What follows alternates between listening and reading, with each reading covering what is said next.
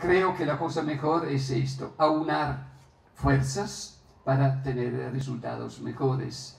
Y esto es lo que se quiere realizar ahora en este convenio, este acuerdo, para que de veras sea para Santa Cruz, ojalá pueda ser para Bolivia, un ejemplo de cómo la sociedad nuestra abre su corazón a estos chicos, a estos jóvenes, y les ofrece lo mejor que tiene, lo mejor que puede.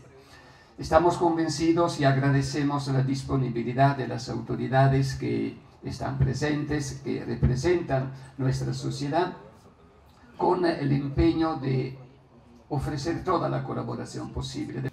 Este es un proyecto eh, que es muy, eh, una necesidad muy sentida para la población de Santa Cruz. Vemos frecuentemente y lo vemos en las calles a los niños eh, haciendo malabarismo, pidiendo dinero, lavando parabrisas. Y eso evidentemente es porque ellos no tienen un lugar donde acudir, donde se los pueda atender, porque no tienen una familia estable y están eh, malgastando su juventud y su niñez en una situación de, mucho, de mucha peligrosidad. Gracias a este centro podremos nosotros traer a los niños, invitarlos, es un centro de puertas abiertas, donde podremos darle atención psicológica, terapéutica y podremos reinsertarlos en una familia. ¿Cuál es el mensaje para la gente?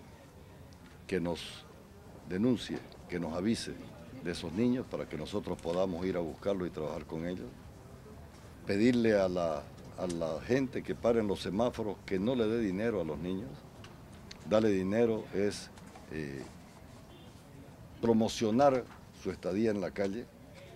Si el niño no recibe dinero, si el adolescente no recibe dinero, va a tener que acudir a estos centros, va a tener que volver al seno de su familia a buscar educación, a buscar trabajo, a buscar estabilidad.